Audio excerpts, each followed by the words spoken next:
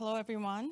Um, welcome to the session. Hope you're all having a good uh, time at the PyTorch Mini Summit inside the larger OSS Summit. Um, today, uh, we're going to talk about uh, how AWS and Amazon are leveraging PyTorch uh, to help build large-scale models. I'm Shubha Kambatkone. I'm a principal GDM specialist at AWS. And I'm RJ, or Regis Joseph. I'm a principal engineer with Amazon Search. And in the later part of the slide, I will walk through our journey for actually deploying large language models, not only for training, but also for deploying in production to excite all Amazon.com customers. So at AWS, our mission is to democratize machine learning so researchers and data scientists can go from experimentation and research phase to production deployments of their models as quickly as possible. We like the variety that the PyTorch ecosystem offers that enables machine learning um, developers to build, train, and deploy their deep learning solutions quickly.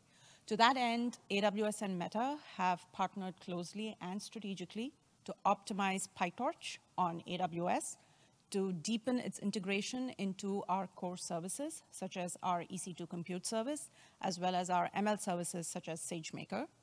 We are also working very closely with the PyTorch team to develop solutions that help uh, ML engineers build out large-scale distributed training architectures using AWS services, and we're working closely to enhance PyTorch in terms of performance, explainability, as well as running inference for PyTorch models. Specifically for running inference, uh, both companies are contributing towards TorchServe, which is a model serving um, uh, service that's native to PyTorch and helps you scale your production deployments of your PyTorch models quickly and easily. We are also, um, another point is we're also a, a board member of the PyTorch Foundation, and we're very excited about it because we believe that the governance structure, the diverse leadership, as well as the technical investments that the partners will make will really help AWS customers scale their models um, and uh, get more value from it. Now, if we look at the AI landscape, it, there's been a lot of news in the recent past uh, around generative AI applications, and it has really captured the interest of the general public like never before because generative AI applications today are able to create new and original content that is very close to human-generated content. Now, if you think about the foundation models or the large language models that are powering these generative AI applications, those models are pretty complex. Um, they are in the orders, if you consider model size as a metric of how sophisticated the models are, we are seeing that these models are approaching almost a trillion parameters in size. And the way we see developers using these models or building these models, we've seen a couple of use cases. One is um, they're looking at building foundation models. And what we mean by foundation models are brand new models that are trained on massive amounts of data with a broad range of downstream use cases. For instance, if you consider Stable Diffusion, which was a foundation model that was built by Stability AI, it was trained on almost 300 terabytes of open sourced images that was available uh, on the net, right? It was trained on thousands of GPUs. The GPU cluster was more than 4,000 GPUs, and it took months to train it. But it has a whole stream, um, wide range of downstream applications a lot of developers are using these foundation models and fine-tuning it or retraining it for specific use cases using proprietary data. So if you were to take um, Stable Diffusion and train it against, let's say, um, a set of health image data uh, that is for medical uh, use cases, for digital pathology, that becomes an example of fine-tuning. And a lot of developers are just developing end user applications that are calling these foundation models through APIs, but it's just an inference run. For instance, uh, Stable Diffusion is uh, part of Dream Studio, Photoshop, and millions of users, some of whom may not have any technical background, are accessing this foundation model through these end user applications. Now, whatever the, uh, the use case is, whether it's training the foundation model, whether you're looking at fine tuning it, or whether you're just running inference, there are some core challenges, underlying challenges, as you start thinking about architecting this or even deploying it in production. Foundation models, um, developing them is resource heavy. There is a human in the loop, there's extensive ML expertise that is required because of the scale of compute that these uh, applications need. Cost to train becomes an increasingly large component and increasingly prohibitive. Also, the time to train is pretty large. It takes a significant amount of resources as well as time to get the model to the accuracy that you need. And when you think about inference, when you have millions of users accessing these models all at the same time, you need to start thinking about how you architect it for real-time user experience or how you manage for cost when you have a sudden spike in demand. Uh, AWS offers the broadest and deepest ML tech stack, um, and we try to meet the customer wherever they are. For instance, if they are expert ML practitioners and they want to build out custom ML ops platforms and eke out the most performance um, from um, the infrastructure, we have a range of high performance infrastructure services compute, networking, and storage. And we also have orchestration services such as our container-based services, parallel cluster, and batch, which are our HPC services, all of which can be used to architect out your uh, training and inference architectures. If customers want to remove some of that infrastructure management um, overhead, they can use SageMaker, which offers a completely managed end-to-end -end MLOps platform for building, training, and deploying your models. And with the new SageMaker Jumpstart, we have now a model repo of foundation models that they can use to then use, using those, calling those models from that repo, they can use SageMaker to then go ahead and do their model training and model deployment. We touched on how compute is becoming increasingly important um, and cost of compute is becoming increasingly important. Customers always um, are asking us how they can optimize for cost. What are, what are the solutions that we can provide them so that they can run things at cost? Um, our compute uh, services, uh, accelerated compute services, have a range of accelerator support. We have GPUs, like the A100-based uh, um, P4s, we have the new H100-based P5s coming out later this year. But Amazon has also invested in custom silicon instances. Um, they are called Trainium and Inferentia. And we have invested heavily in providing another um, compute instance, another accelerated compute instance that can significantly lower the cost of training and inference um, for your large language models and your diffusion models. Trainium uh, offers up to 50% cost savings, and Inferentia, which is our inference-specific chip, offers up to 40% better price performance.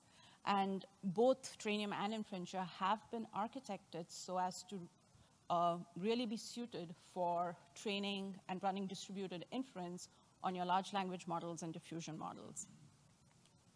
We've also worked closely with the PyTorch team to enable, um, to ensure that ML developers can get the maximum performance from the underlying um, accelerators. PyTorch Eager Mode is really good for explainability and debuggability because it creates the, uh, the graphs dynamically. But by combining it with XLA, uh, through, uh, that is available as PyTorch XLA through the Neuron compiler, what we are doing is we're combining the ease of use and the debuggability of the eager mode with um, XLA level um, execution so you can access or avail the complete performance that the underlying Trainium chips or accelerators can provide when you're using the Neuron SDK, which is the uh, compiler for the Trainium and the Inferentia uh, instances. And what we have done is made it really easy for you to develop your Gen AI applications with our latest announcement, which is Amazon Bedrock. Now, Amazon Bedrock gives a completely managed serverless experience when you want to fine tune your foundation models or run inference on it. You make an API call to the models that are supported by Bedrock. Today, we have Anthropic's Claude, uh, Stability AI Stable Diffusion, as well as um, Jurassic from AI21. And you can host your data on S3 and train these foundation models with your data all within the same VPC. So you can also apply security um, services such as KMS encryption or private link or even IAM access controls. So what you're able to do is have a customized model for your specific use case using your proprietary data and maintain its security and ensure that it is completely secure in your own um, environment. What we also have in Bedrock are Amazon's own LLMs. Machine learning is a fundamental component of uh, Amazon's business, and we have developed foundation models and large language models that we have used as part of our um, businesses. And now, with Bedrock, we are exposing those LLM, LLMs to customers um, so they can leverage them for building their own Gen, I, uh, Gen AI applications. And today, RJ is going to go over Amazon's search journey on using AWS as well as PyTorch to build, train, and deploy their LLMs.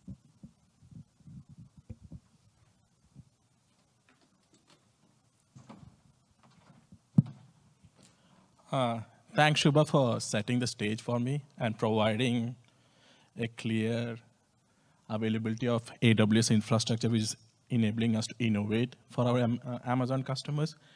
So just uh, curious, how many of you guys are Amazon customers who have bought something in Amazon? Good. That's good to hear, and we work hard to give you a good customer experience. But I want to start with foundation of this large language models needs lots of infrastructure, as everybody was telling. And I'll go through the journey of what we did over the last few years to give you the benefit of the large language models. So before I go there, I want to give a quick introduction for my, my team's vision and uh, mission.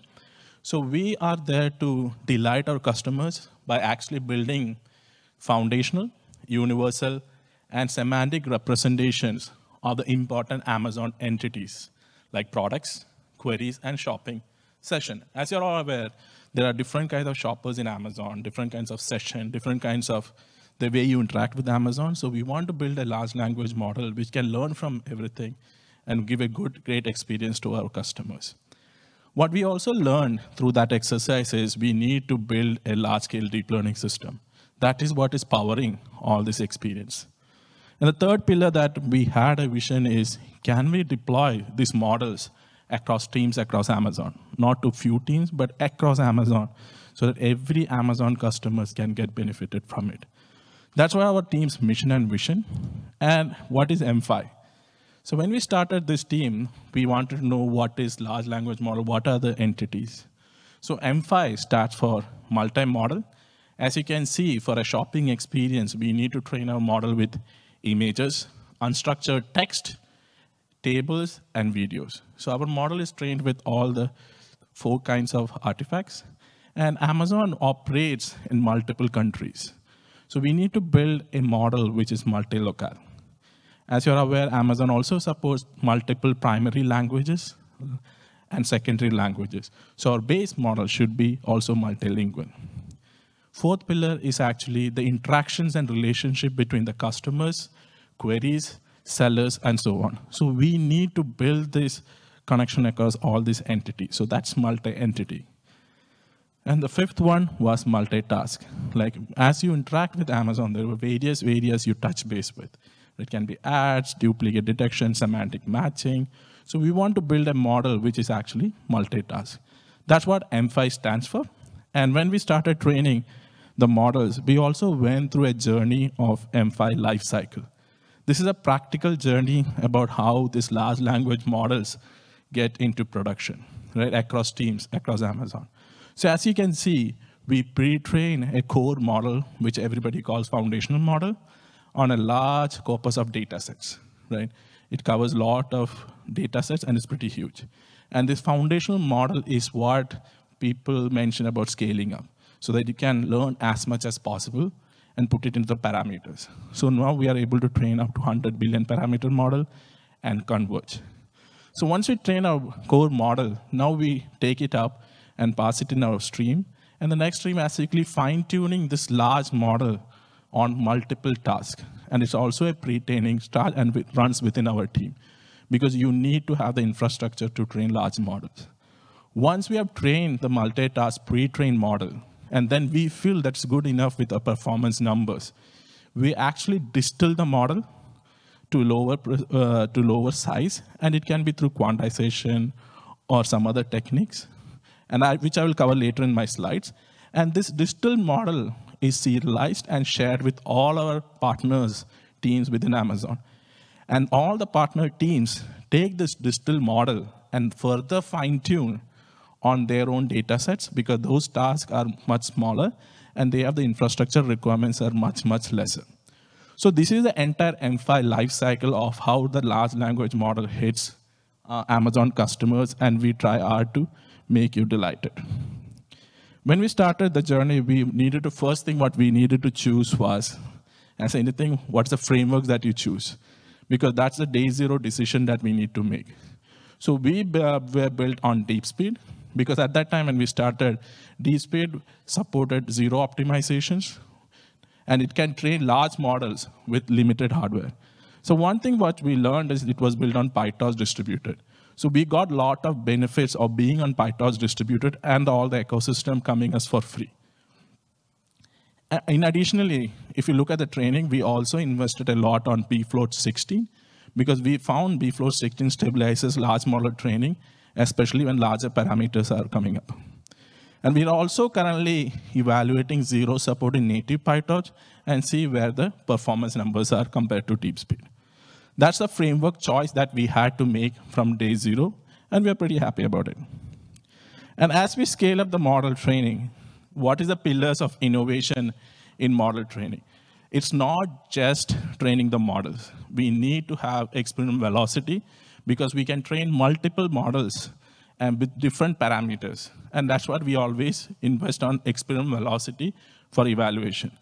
As you can see on the right side is the picture of an experiment for our developers. So it can experiment is backed up by an hypothesis for an ML developer.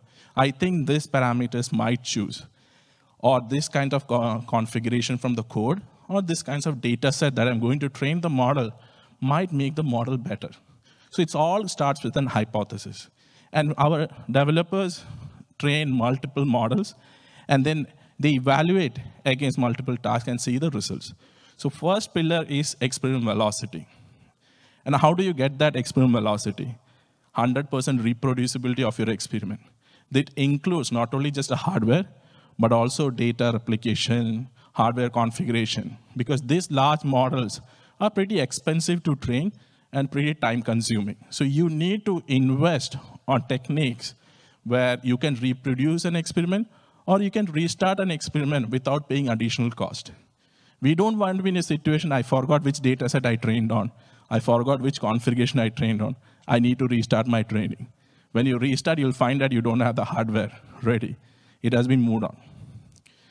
And the third pillar, which people normally don't discuss much, is the reliability of large model training. It's quite common to have hardware failures and software dependency failures, right? And what we invested in, and this model takes like weeks or maybe months to train it. And also it's spread across hundreds of machines. So when you have a hardware failure, how you understand it's not because of the code bug, but it's because of an hardware. So we invested in mechanism that we can reliably identify hardware, automatically restart from the checkpoint, so there's no human in the loop involved. So this enabled us to further increase our experiment velocity, which is our first pillar.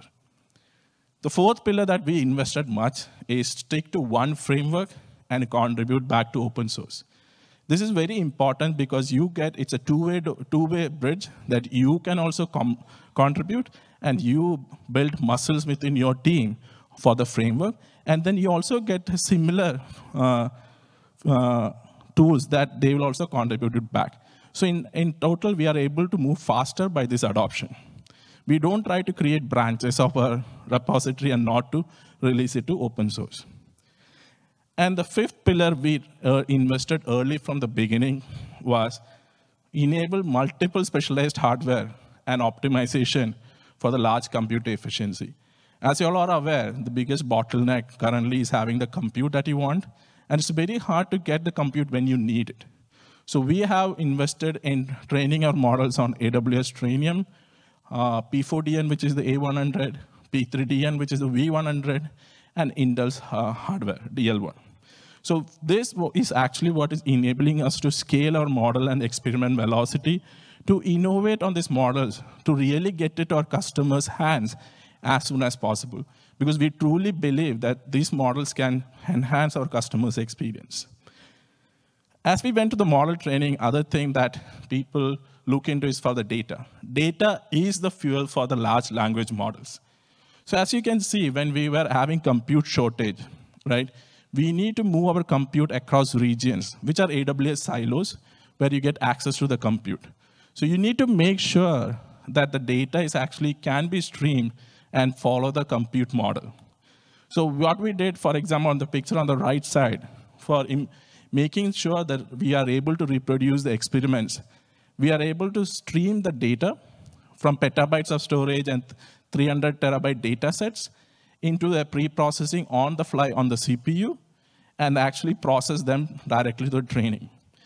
So for example, this is an example of a multimodal training where you have to transfer your images, resize, color augment, push it to the training. So rather than doing offline jobs for doing it, we actually stream it through the CPU on the GPU machine. So this enabled not just tight coupling of our training with the data, but actually reproducibility. We also store everything in an immutable data storage, and which is equally accessible across any region, any system. And we also respect the data lifecycle policy. So how it, it's enabled is we are thinking of, it's actually integration with PyTorch data loader and this optimized AWS S3 client based on C++, which enable us to get at least 10x performance compared to the AWS S3 Boto client. I think we are very close to releasing it. I think it already has the support for the data loader with S3 CRT client, but we are pushing further to provide a journey about how this S3 client enable us to scale and follow the compute and scale our experimentation. So this is the first part of the journey where you have training the model, you're trying to get the data ingestion to the system. Now the second set of challenges starts when you actually want to delight the customers. And that's what we call is ML inference. The concern for the ma machine learning inference is actually the decoupling of the training and inference. As you see a lot of teams working together, the training infrastructure, code base, hardware, and all of those things become hardly coupled. And it's very, it takes much longer human time to deploy these models to production as you have to transition these models to other teams where they don't share the same infrastructure. So we need to decouple our training and inference, not only just code, but infrastructure too. Second is every team, when we share our models, the most important thing that they are worried about is price performance. It's latency, throughput, and cost. Because we delight customers across the world, the throughput requirement for our models is very high. But we cannot have pricey options, so we always look at which is the best price performance that you can get. And the third pillar is not all inference are critical path. You have to look at your inference workloads, whether they're bursting, they're provisioned, or they are real-time or batch. So you have to really profile these workloads to ensure what is the right hardware and the software that you need to use. How did we decouple? We actually used the Py, PyTorch model serialization framework to decouple the models. So on the left side is what mo mostly you see as a torch.eager, which is a research and development for the models. Then once the model is of good quality, we actually serialize the models, and we adopted torch.script to our customers. And the customers will take this torch scripted module and either further fine-tune or host the model the inference. This actually separated us to move faster with very less decoupling between training and infrastructure. And there is no tickets, bugs, like my code has moved, it's not working and everything. TorchScript actually enabled us to scale there. And once we decouple the model, what do we do for the inference optimization? Uh, this is also another area where we invest a lot to get to, get to this details to the every customer. So we have three layers for the model inference optimization. One is called algorithmic and data structure, which is like pruning uh, models for reducing the compute, or you do quantization on different formats like FP32, int8, FP16, bfloat16, without affecting the quality of the model. So again, when you do these experiments, you need to run a lot of experiments and the right configuration so that you're not losing the quality of the model. Second layer, what we call is SDK and model format. So somebody's called it ML compilers. So we call it uh, SDK model format. For inference, we use Neuron. For G NVIDIA GPUs, we use TensorRT, we use ONNX, and everything. And for the hardware, we use AWS Inferentia. For some of the workloads, we use NVIDIA GPUs, we use CPUs, all those different kinds of hardware, but always prioritize price to performance for your inference workload. That is what is going to enable you to scale and quickly get it to the customer's hands. So we did discuss all those things. Now you're getting the results, right? Getting into what this all this enable. Actually, we are able to train multiple BERT 100 billion encoder models, and not only train, but actually converge them so that they can be fine-tuned and deployed to production. Our team runs close to 10K experiments jobs per month.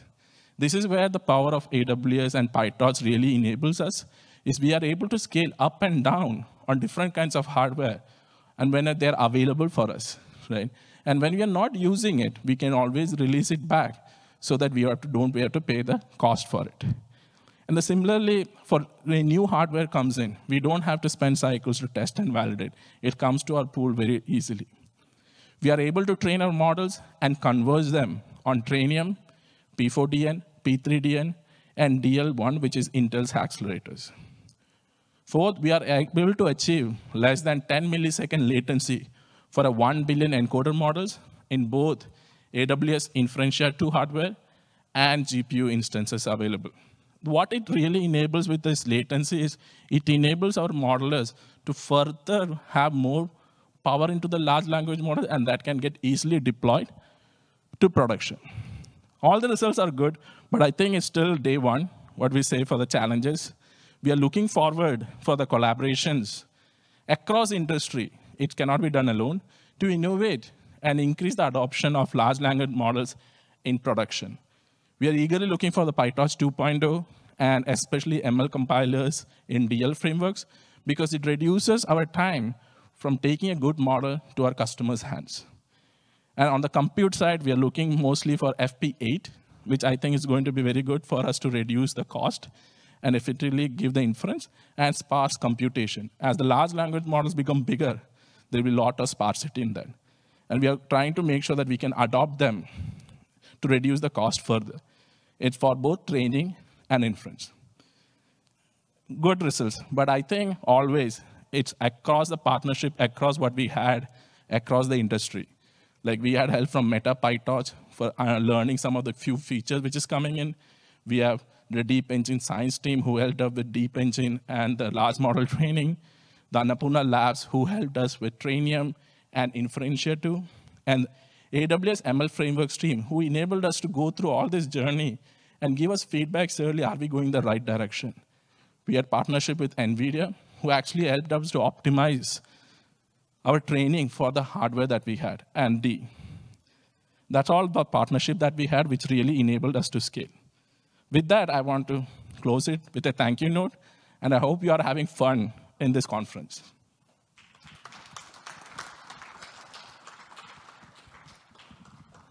Any questions? Yeah. Yes.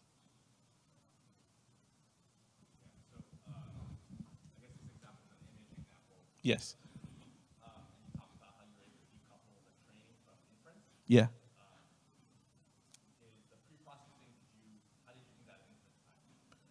So So in the inference time, when the, uh, when the model comes to the inference, I think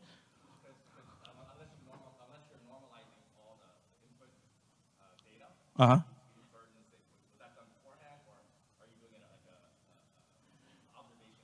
Yes, I think when you're coming for the multi-model, right, when you're doing this, the inference latency will go up.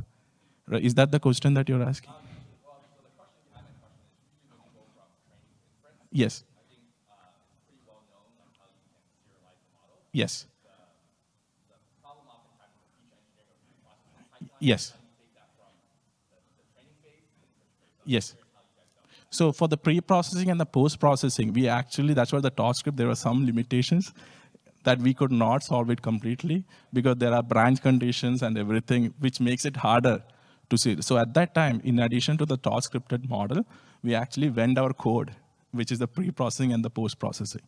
That's why we are, want to invest further on the DL framework so that all those things can be done more efficiently transition.